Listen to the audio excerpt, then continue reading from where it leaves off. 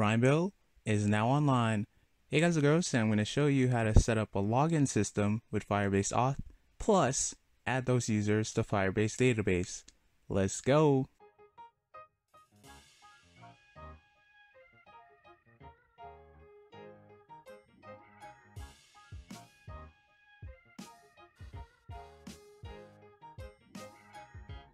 Awesome! So here in my HTML code, I got my Google fonts, and below this I got my style tag. In my body tag, I got some simple containers. Most importantly, I have input boxes with IDs on them. Last but not least, I got a button container with some important buttons, with on-click events of course.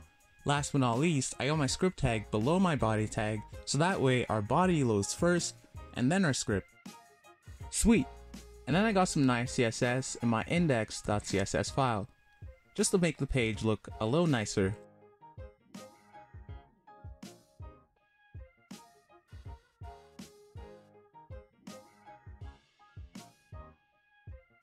So the first thing we gotta do is to create a new Firebase project.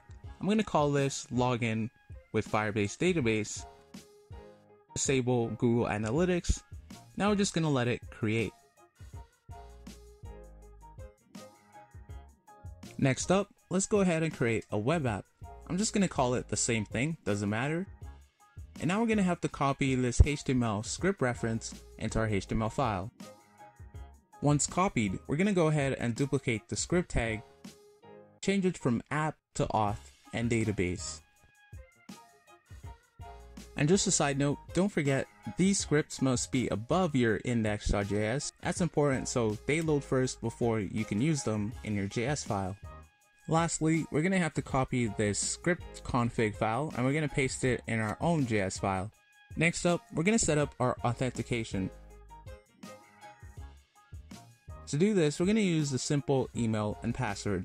Of course, you can use other ones, but email and password works. So let's set up our real-time database. We're going to go ahead and use lock mode because we've always used test, and we're going to change up the rules of lock mode so our read and write is equal to true. Of course, this is going to give us a alert message. We'll fix this later on. Sweet. So now we can go back to our index.js and edit up this file. First thing we're going to do is to declare two variables. Our first is going to be our auth, which is going to be equal to firebase.auth, and below this we're going to set our database equals to firebase.database. Great, so now we're going to set up our register function, which is going to register new users to our website. And don't forget, we're calling the function register in our HTML button. Great, so the first thing we're going to do is to get all the input fields we have in our HTML file. So that includes our email, password, full name, etc.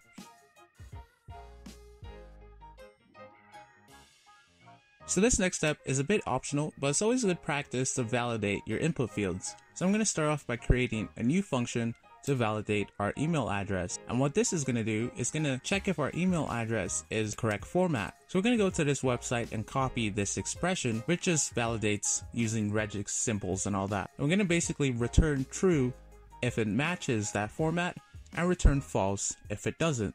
So that way we can validate if this is a right email address or if it's a, not an email address.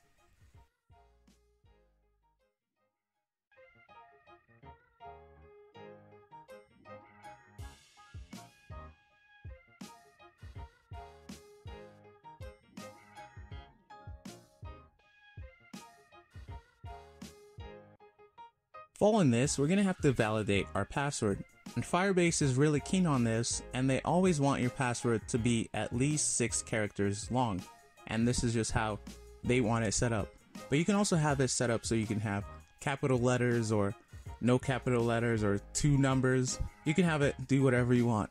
But we're just going to keep it plain and simple and say if our password is less than 6 characters, then it's false.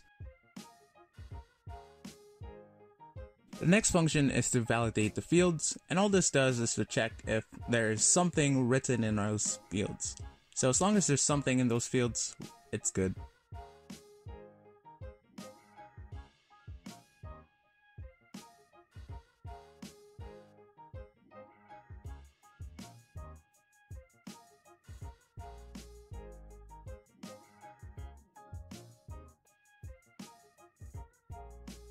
Awesome. So now in our register function, we can say if validate email is equal to false, or if validate password is equal to false, then we return and we don't run the code anymore. And of course you can have an alert message in here, your email or password is out of line. But of course you can be more specific about what the user needs to do in those individual functions, which is sweet. So let's go on and validate our input fields too.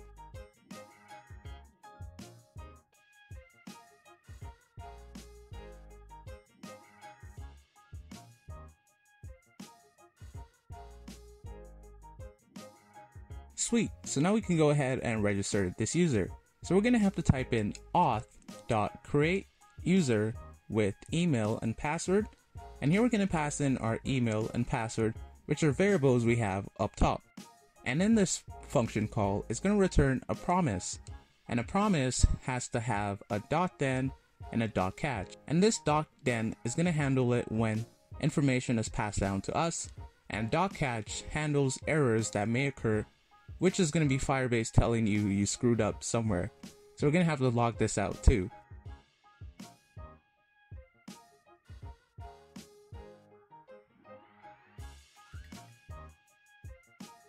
Great, so in our .then function, the user has now been created and everything's all good. So we're going to have to create a new variable and call it user is equal to auth.currentUser. And then we can log out alert user created. Awesome, so now all we have to do is to save this user to our Firebase database. So now we're going to create a variable and call it database ref.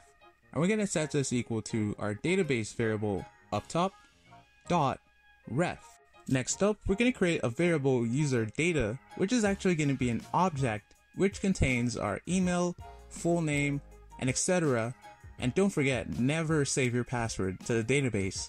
That's what your auth is for.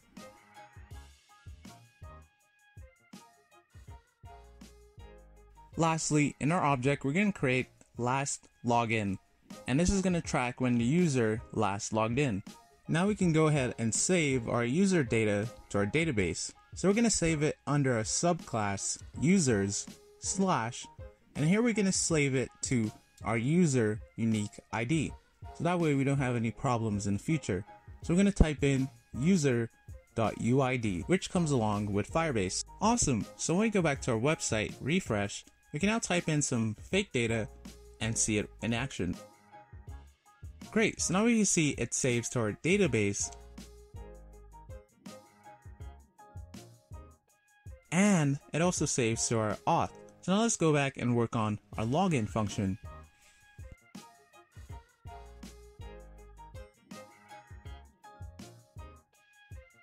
The first thing we're going to have to do in our login function is to grab our email and password inputs and then we're going to validate them below.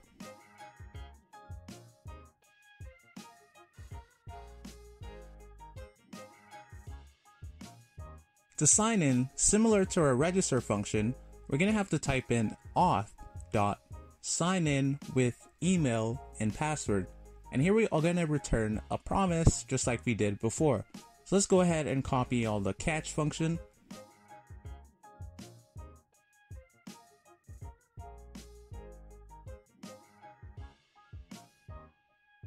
And since we're gonna be like Facebook, we're gonna have to update our last login parameter for this user. So we're gonna go ahead and copy all the database stuff, and we're gonna delete everything else except our last login.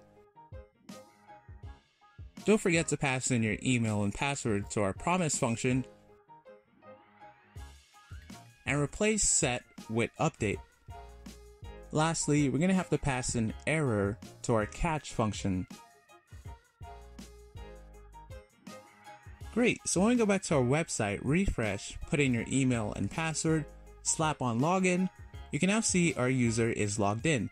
And we can also catch the Firebase database updating our last login parameter, which is sweet. And that's it. But there's one more thing we gotta cover, which is our database rules. Sweet. So there's a website I found that has some common Firebase database rules. And for this one, we're gonna use this rule. And this rule states under our users category, have in our Firebase database, And under this users category, we have our UID, which is exactly how we set it up in our Firebase database. And we can only read and write if our current auth UID is equal to the UID of this database UID. So basically, other users cannot edit other users' parameters.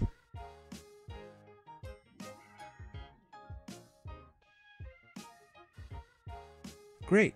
So now we change our rules. Let's just make sure everything still works.